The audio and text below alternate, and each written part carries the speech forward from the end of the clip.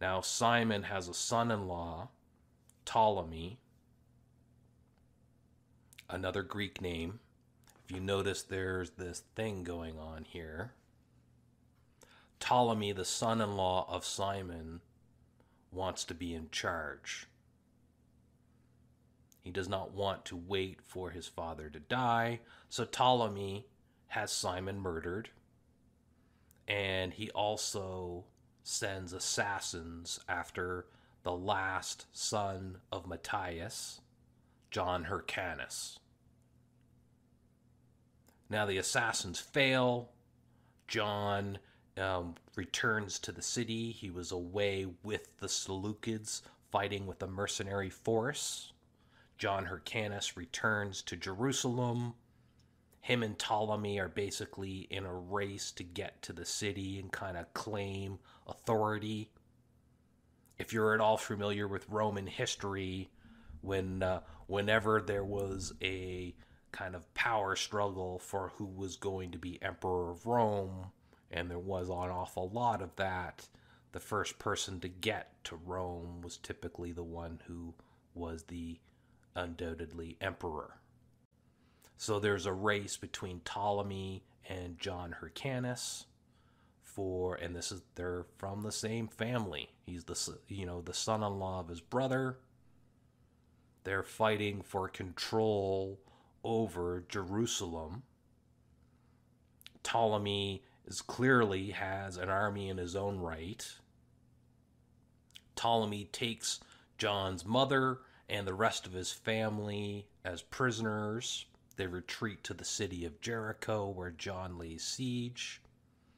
Ptolemy eventually murders John's bro- or John's family and his mother. Now there is a break in the siege, and this is an interesting thing I learned about reading Josephus.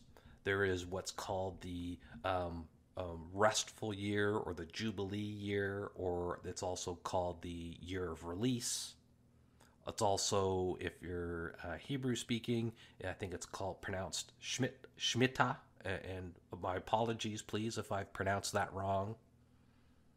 If you're interested, the next Shemitah, the next year of release, falls on the Jewish year 5789, or if you're following the calendar everybody else in the world does, that's September 20, 2028.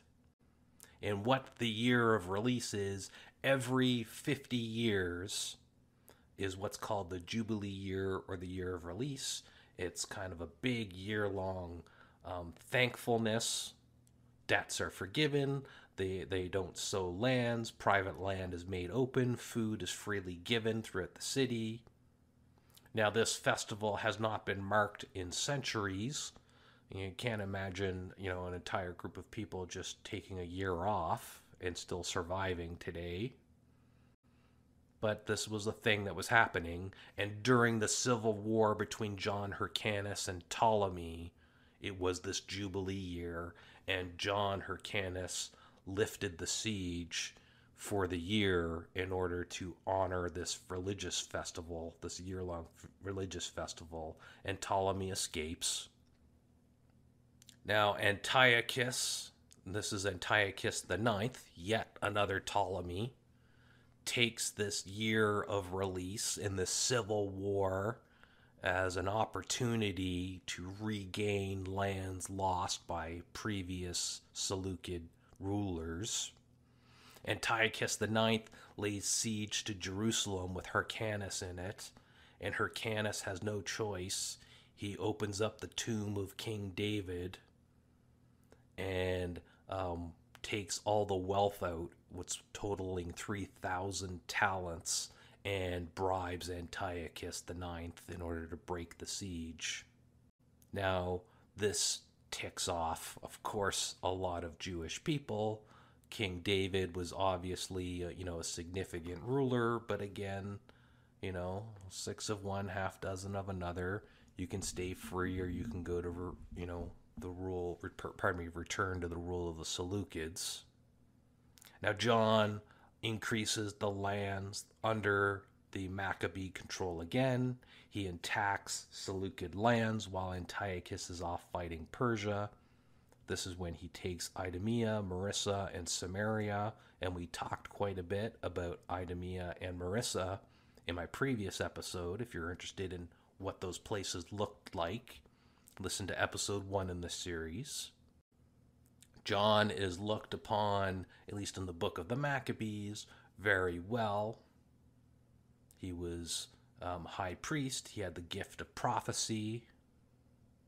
John's sons are the ones who are laying siege to Samaria. And the city of Jerusalem has a what I would call a hate and hate relationship with Samaria. And there's no love in this relationship.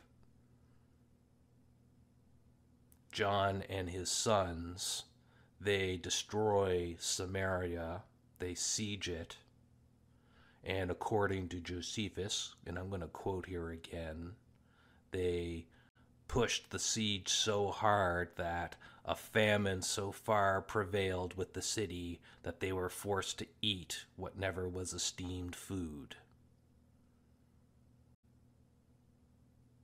Just let that sink in for a moment. And if you're wondering what it's like to be in a city that's siege so long that you have to resort to eating things that aren't supposed to be food. That would be leather, wood, roots, cannibalism. You know, this is the experience of being in a siege at this time. And if you're at all interested in what that experience would be like, you can listen to episode one of my Destruction of the Tower of Babylon series, where I talked about what the experience would have been like being within the city of Jerusalem when Nebuchadnezzar um, destroyed the city during his siege. This is the experience that Samaria felt famine, cannibalism, and John Hyrcanus and his sons, they destroy the city, they enslave the inhabitants, they sell them in the Seleucid slave markets. And they, according to Josephus, continued laying waste to, quote, all the country that lay within Mount Carmel and this triggered yet another civil war. This atro- the atrocities visited amongst the Samaritans was so severe that it triggered yet another civil war within Judean lands, which John put down.